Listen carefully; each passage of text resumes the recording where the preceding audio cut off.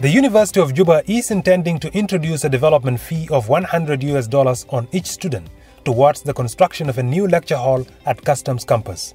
However, to reduce the burden on the students, we are launching a fundraising campaign to raise 3 million US dollars from well wishers.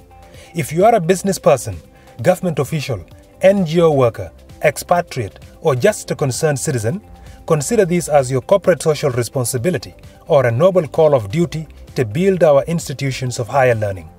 Come to Freedom Hall on Thursday, 17 November 2022 from 10 a.m. to 2 p.m.